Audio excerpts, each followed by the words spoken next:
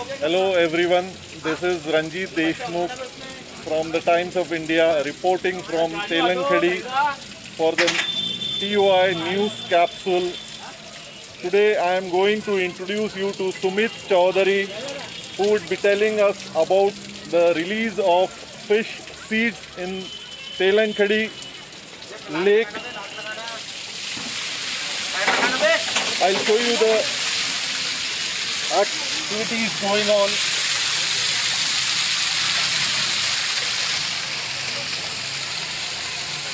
Sumit hello this is Ranjit आप uh, थोड़ा बताएँगे कि आज ये क्या एक्टिविटी चल रहा है यहाँ पे?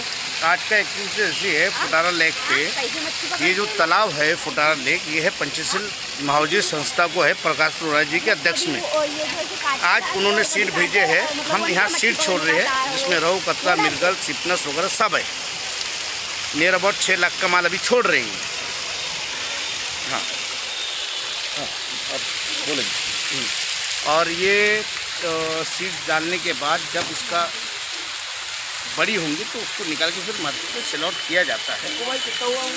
इसमें कौन कौन सी वेराइटीज सुमित आप तेलंगड़ी लेक में आज रिलीज़ कर रहे हैं? और ये सीड जो है ये कितने दिनों का कितने महीनों का रहता है? और कहाँ से आता है? ये रामटेक से आता है। ये तीन महीने का सीड्स है। इसमें रहू है कतला है मिर्गल है ग्रास काप है कालगोस है और सिपनस है। और ये कितने कितने महीने का सीड है ये?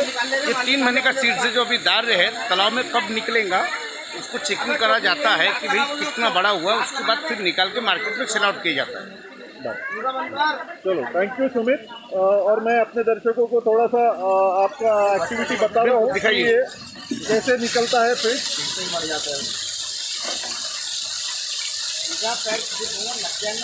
ये आप देख रहे हैं कि यहाँ पे सीड जो ट्रांसपोर्ट व्हीकल से रामटेक से लाया गया है उसका वेट करके अभी ये बकेट के थ्रू इसको तेलंगड़ी लेक में रिलीज़ करेंगे।